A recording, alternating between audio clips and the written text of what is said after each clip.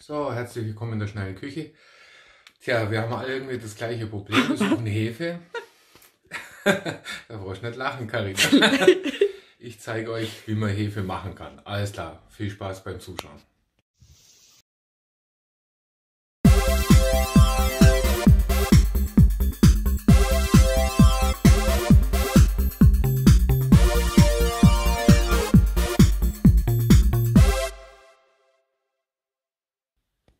Jetzt, also ich habe mir ein bisschen informiert, äh, was man so machen kann, weil ich dasselbe Problem habe wie die meisten. Ich krieg nicht mal, ich habe noch einen Ersatzwürfel hier, aber ich krieg nicht mal zwei äh, Würfel Hefe und ein bisschen Trockenhefe, dass die Backerei weitergehen kann, dass man mal Semmel machen kann oder so. Ähm, dürft, müsst mich entschuldigen, wenn ich nicht so ganz klar bin beieinander, aber ja, bin noch nicht so ganz fit, komme gerade frisch aus dem Krankenhaus. Ja. Aber dennoch, es muss weitergehen. also, wir nehmen äh, ein Allgäuer Büblebier. Und äh, davon nehmen wir jetzt 100 Milliliter. Also beim Sauerteig ist ja so, beim Sauerteig nehmen wir da 100 Milliliter Wasser. Und ähm, dann tut er da einen Esslöffel Mehl rein und einen Esslöffel Zucker. Ne, Zucker, kein Esslöffel, sondern nur Mehl, genau. Wasser und Mehl und äh, Roggenmehl oder Dinkelmehl und das äh, gärt dann miteinander und dann tut sie das am nächsten Tag wieder 100 Milliliter rein und ein äh, Esslöffel Mehl und am zwei, äh, dritten Tag tut sie dann 200 Milliliter Wasser rein und zwei Esslöffel Mehl und so macht sie euren Sauerteig. So und jetzt Hefe machen wir jetzt so, wir haben die 100 Milliliter Bier hier die tun wir hier rein.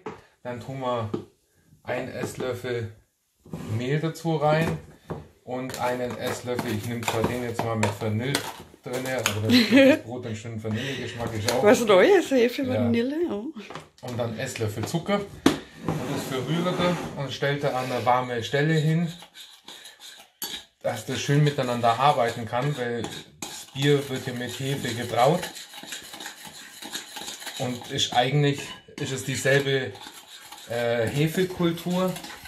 Das ist auch, äh, deswegen kann man das dafür nehmen. Das lasst ihr jetzt schön miteinander gehen, tut es abdecken mit einer Folie.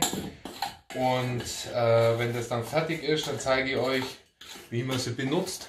Auf jeden Fall hoffe ich, ich kann euch damit äh, eine kleinen, kleine Hilfe geben, dass er nicht ganz ohne Hefe dasteht. Wie lange muss man es gehen lassen? Oder woran sagen, sieht man das? Ich würde mal sagen, an, einen, an einer warmen Stelle ähm, ein bis zwei Tage. Genau so lang? weiß ich nicht. Ich habe es noch nicht ausprobiert. Aha. Also es ist selber ein Selbstversuch. Ähm, und ich würde beim, beim Sauerteig ist es so, wenn ich es bei 25 Grad, also an einer warmen Stelle, einen Tag gehen lasse, dann sieht man am nächsten Tag schon die Bläschen oben drauf und am zweiten mm. Tag, wenn ich es wieder aufgefüllt habe, dann sieht man wieder die Bläschen und der Teig, der riecht dann auch säuerlich.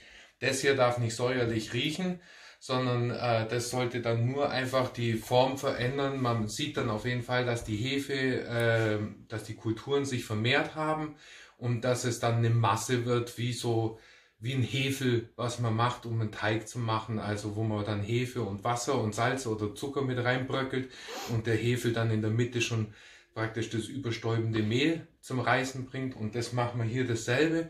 Also praktisch, wenn ihr schon seht, dass es eine Masse ist, dass es klumpig ist, äh, so schmierig wie ein Teig praktisch, äh, dann könnt ihr es auf jeden Fall benutzen, da habt ihr eure Hefe. Probiert es aus, sagt mir euer Feedback, alles klar und ich zeige euch dann, was wir daraus gemacht haben. Gut. Ciao. Tschüss.